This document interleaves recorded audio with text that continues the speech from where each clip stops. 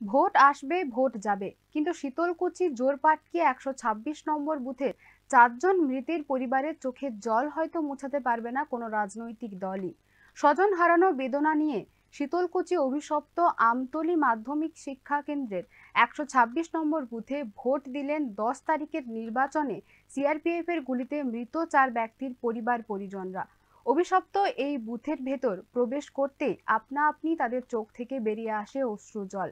এই অশ্রু জলেই হয়তো অভিশপ্ত বুথটিকে ধুয়ে দেওয়ার চেষ্টা করল দশ তারিখের নির্বাচনে মৃত ওই চারজনের পরিবার পরিজনরা।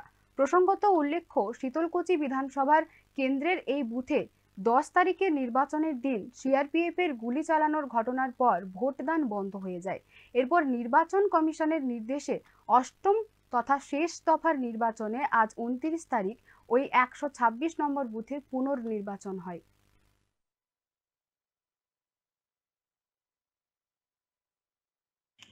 আমার ছেলে নিজের অধিকারকে প্রয়োগ করতে গিয়ে কেন্দ্র বাহিনীর হাতে গুলি খেয়ে আমার ছেলে মারা গেল। তার আমার পরিবারটা সুবিচারের জন্য আর দেওয়ার জন্য আজকে আমার যে অধিকারকে রক্ষা করতে গিয়ে আমার ছেলে মারা গেল আমি সেই ইয়ের জন্যই আজকে ভোট দিতে এসেছি। আপনি ভোট দিয়েছেন? দিয়েছি। আপনার